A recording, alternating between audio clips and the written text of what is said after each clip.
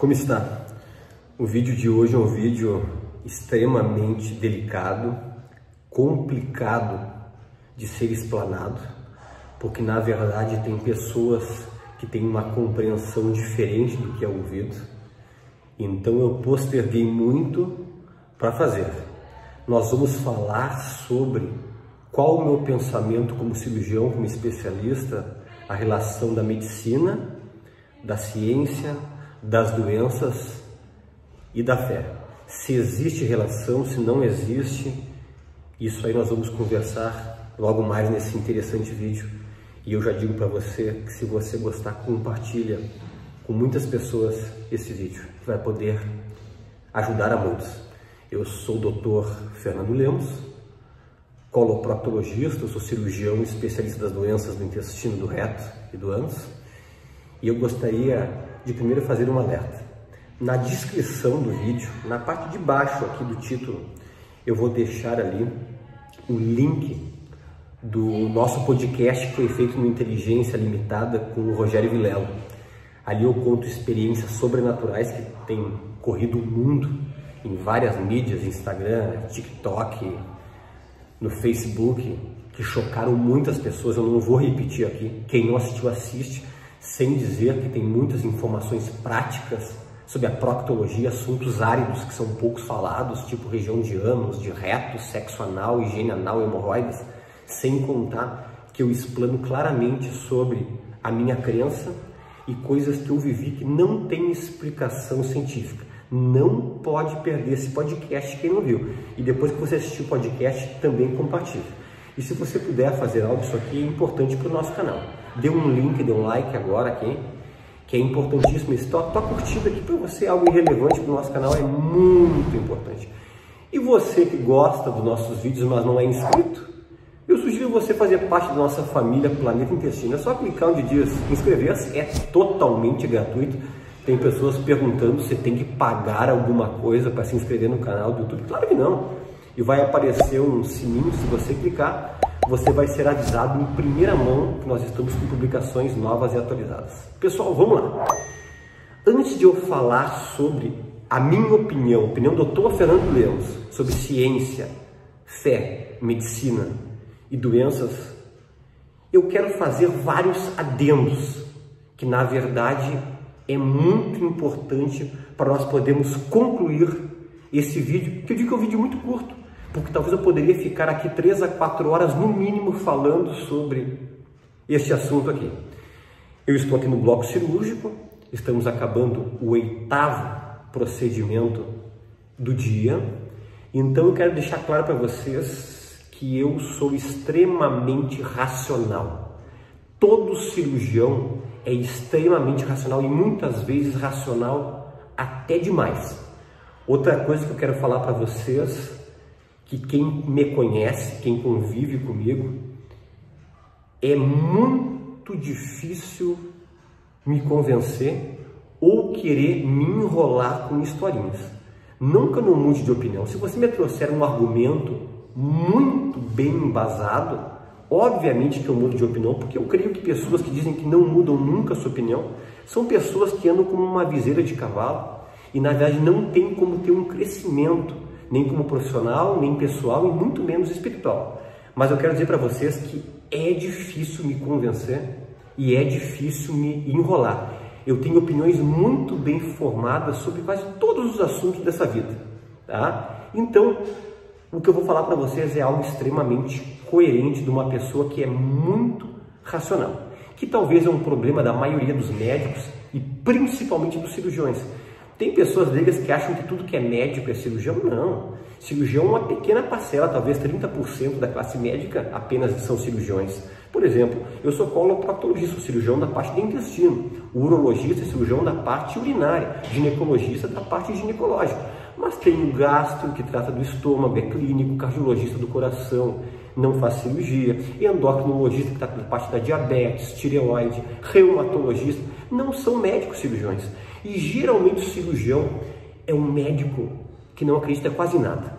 Ele acredita apenas no palpável, naquilo que ele pode dar, operar, tirar, curar com as suas mãos. Que talvez isso aí também é um defeito, é algo que a pessoa só com o passar dos anos e com a experiência dele vai ver que isso aí é um pensamento extremamente pequeno, um pensamento extremamente soberbo, que vai levar ele mais cedo ou mais tarde à queda, porque vai ver que muitas vezes as coisas não vão dar certo como ele programou e com a finitude dessa vida, com o passar dos anos e a pessoa se aproximando da morte, a soberba vai diminuindo, né? Então, primeiro de tudo, vamos deixar bem claro em relação a isso. Segunda coisa, estão dividindo muito hoje em dia os médicos, principalmente depois que começou a rede social, nos médicos convencionais, que são aqueles que lidam principalmente com o que aprenderam na sua faculdade, na sua residência médica, algo extremamente palpável, e os médicos que estão mais na parte de rede social, tá? Medicina integrativa e vários outros nomes. Se me perguntam em qual lado que eu me enquadro, nenhum nem outro, porque eu acho que nem o radicalismo apenas da medicina convencional está certo, e muito menos muitas invencionices que esses médicos, muitos de redes sociais, estão fazendo apenas para ganhar seguidores.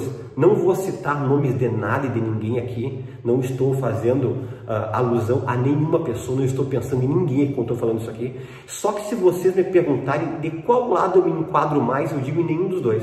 Eu estou no equilíbrio. Eu acho que tem que sim ver as coisas novas e não tão palpáveis que estão acontecendo, os estudos novos, como tu não pode ignorar em hipótese alguma a medicina convencional. Tá? Tem muitas coisas hoje em dia que estão inventando de coisas naturais, e chás naturais, e métodos naturais, que não tem embasamento científico nenhum. Tanto que a imensa maioria desses médicos, dessa medicina integrativa, são médicos que não têm muita credibilidade com os médicos convencionais, os médicos que são diretores de hospitais, que são diretores de bloco cirúrgico, que fazem parte das sociedades brasileiras e gaúchas da sua especialidade, como eu faço parte da Sociedade Brasileira de Coloproctologia e da Sociedade Gaúcha de Coloproctologia. Então existe mais ou menos esse, essa briga tá, velada entre esses dois grupos aí que eu acho que nenhum nem outro está correto. Então vamos deixar bem claro isso aqui. Outro detalhe que vamos deixar bem claro. Eu, no podcast do Vilela, no Inteligência Limitada, para você procurar Inteligência LTDA, Dr. Fernando Lemos, é um podcast que mudou a vida de muitas pessoas. Como eu disse, eu não vou repetir o que eu citei lá. Eu só vou dizer claramente para vocês que eu, a minha fé, eu sou um cristão, eu sou evangélico, eu sou da Assembleia de Deus, eu creio muito em Deus e eu creio que o meu Salvador e o Salvador do mundo é Jesus Cristo que morreu há mais de dois mil anos atrás. Esta é a minha crença para deixar muito claro. Eu atendo e respeito pessoas de todas as religiões e crenças.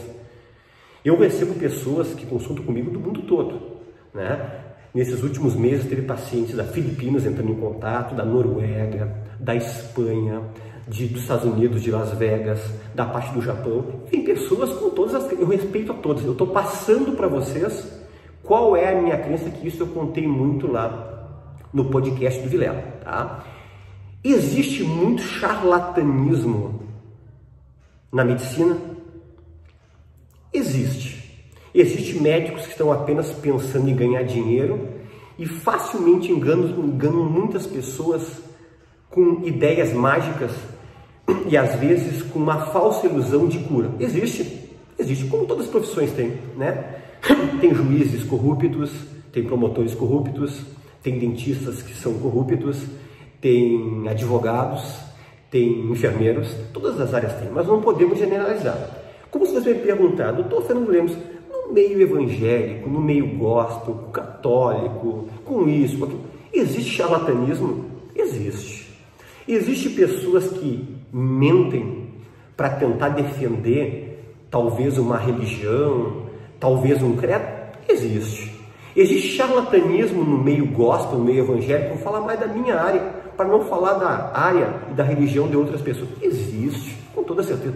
Existe na minha área pessoas que estão só pensando em retirar dinheiro de fiéis? Existe. Existe muito ilusionismo, até mesmo em relação à parte de curas? Existe. Só que você não pode, em hipótese alguma, generalizar. Dizer que tudo é uma falcatruagem, tudo é um charlatanismo, tudo é mentira, porque você vai estar falando de algo que você não conhece. E eu sempre gosto muito de dizer que contra fatos não tem argumentos. Tá? Eu quero dizer para vocês o seguinte, pessoal. Eu acredito em milagres, porque eu já tive casos de milagres com pacientes meus, algo que eu não pude explicar. Só que o milagre verdadeiro que Deus faz é um milagre que é inquestionável. É um milagre que tu tem que ter comprovação com exames. Aquela história de dizer, ah, eu fui curado, e a pessoa na verdade não foi curada, apenas está achando sensação de cura, isso não é milagre. Ninguém precisa defender a Deus. Ninguém precisa fazer joguinhos para tentar mostrar que Deus ou Jesus Cristo é bom. Quando o milagre realmente aconteceu, tu pode fazer o exame que for e vai estar comprovado lá. Primeiro caso que eu vou contar para vocês, de uma paciente minha, que aconteceu talvez uns 12, 13 anos atrás, que estava com um tumor, um câncer no lado direito do intestino e estava com cirurgia marcada. E ela chegou para nossa equipe e disse: Doutor, eu estou curada, eu fui curada. Né? Teve uma, uma pessoa específica que orou por mim eu senti que Deus fez uma cirurgia, tá? Não é a cirurgia espiritual que tô falando, é uma oração e eu estou curado. E eu disse para ela sem ela saber qual era a minha crença, porque a maioria das pessoas que consultam comigo nem conversa sobre isso, tá? Como eu falei, a gente atende as pessoas as mais diversas crenças. E eu disse para ela, muito bem, então essa cirurgia nós vamos deixar marcada, mas nós vamos refazer o exame de colonoscopia para poder ver se realmente a senhora foi curada. Tá? Eu não contrariei o que ela disse, eu não debochei do que ela falou, porque eu, com a minha crença, eu sei do poder e da possibilidade do milagre. Pois não. A cirurgia dela estava marcada para outra semana, numa sexta-feira. E na verdade nós estávamos na quinta-feira da semana anterior. E fomos fazer o exame de videocolonoscopia e o câncer não estava lá. E nós tínhamos exame de colonoscopia com a foto do câncer. E aí, pessoal, qual explicação que eu, como cirurgião, como coloprotologista, como racional que eu sou, digo sobre isso? Não tem explicação. Milagre a gente não explica. A gente aceita e glorifica e agradece a Deus e dá as honras para Deus. Porque em primeiro lugar na nossa vida é Deus. E se ele disser que vai curar e curou, contra fatos nós não termos argumentos. E aí? Ela voltou no consultório e disse: realmente, a senhora foi curada. Agradece a Deus, dá testemunho para quantas pessoas a senhora puder dar que a senhora foi curada. Teve um outro caso, um caso mais ou menos semelhante, não era ainda um câncer, era um pólipo grande, um pólipo adenomatoso, que já estava com uma displasia de alto grau, que fez uma colonoscopia tinha que ser retirado para evitar a evolução do câncer. Esse paciente também veio dizendo que tinha sido curado, que tinha expelido o pólipo, que isso aí não existe racionalmente falando, ainda mais um pólipo daquele tamanho, um pólipo com um pedículo, que é uma base muito larga, muito grossa. Fomos fazer o exame e o pólipo não estava lá. Que explicação que você me dá em relação a isso? Não tem. Isso é milagre. Só que nós sabemos que não é todas as pessoas que recebem milagre, não é todas as pessoas que recebem a cura. Tem uma palavra na Bíblia que eu gosto muito que diz assim, ó, existe muitos mistérios entre o céu e a terra que não convém ao homem saber.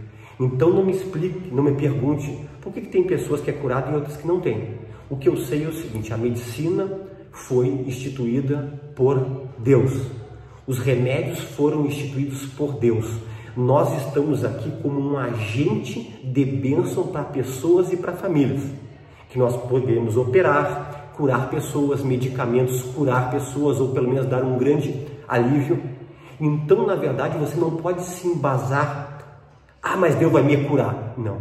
Você tem que fazer o teu tratamento médico, você tem que seguir as orientações do teu médico, do teu especialista, se tiver que te operar, te opera. Se Deus quiser operar um milagre na tua vida, ele vai operar, mas você tem que fazer uma comprovação científica com exames para ver realmente se você tem a cura.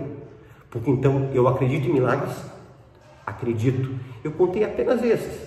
Tem relatos mil que eu poderia contar para vocês, até que aconteceu com vários colegas meus, até mesmo pacientes que estavam já indo para serem uh, indo para serem, tá, foram mortos, receberam atestado de óbito e acordaram, né? Antes que você diga, ah, mas isso aí tem alguns que não foi visto bem que o paciente tinha morrido, não. Estou falando em relação ao paciente que tentou fazer reanimação, 30, 40 minutos, estava com a midríase, as pupilas bem dilatadas, estava morto e acabou retornando. Tem explicação? Não tem. Isso é milagre. Mas eu digo para vocês que isso aí é exceção da regra. Tá? Não deixe de fazer o teu tratamento, as orientações, apenas dizendo Deus vai me curar. Busque a cura com Deus, porque se Ele for te curar, fique tranquilo que é algo definitivo e para toda a vida. E algo que eu gostaria de dizer aqui para você que é incrédulo, para você que é um médico muito racional e racionalista aqui, essa vida é muito curta. E pessoas que lidam muito com a morte, tipo todos nós médicos que lidamos muito com morte, a gente vê pacientes morrendo, claramente você vê que quando a pessoa morre, fecha os seus olhos, apenas o que apagou ali é o boneco, é o boneco de barro. A alma e o espírito são eternas. Então, na verdade, nós temos que cuidar da nossa vida da melhor maneira possível. Eu faço sempre questão de dizer que vida nós só temos uma. Cuide dela. Gaste dinheiro com a tua saúde. Tudo que você puder aprender sobre saúde para cuidá-la, faça. Porque na verdade isto agrada a Deus, porque o maior bem que Deus nos deu para nós administrarmos foi a nossa saúde. Então, cuide dela, mas não esqueça que depois existe eternidade. Existe algo muito mais depois dessa vida tão curtinha assim. Se você já foi no velório, você já teve a oportunidade de dizer, olha, mas parece que a pessoa não está aqui. Realmente, porque a alma e o espírito já foram para a eternidade. E na verdade a decisão sobre o nosso futuro eterno nós temos aqui em vida. Resumindo a obra, fé, milagres acontecem. Quanto mais fé, maior a possibilidade do milagre. A ciência não explica, mas eles existem e tem que ter comprovação com exames. A medicina, ela tem que ser tanto convencional como uma medicina um pouco mais moderna. Nós temos que tentar fazer um meio termo disso, porque sempre o equilíbrio é o melhor caminho. Eu desejo que esse vídeo faça você refletir sobre muitas coisas. E mais uma vez eu acabo dizendo que todo homem tem um vazio do tamanho de Deus.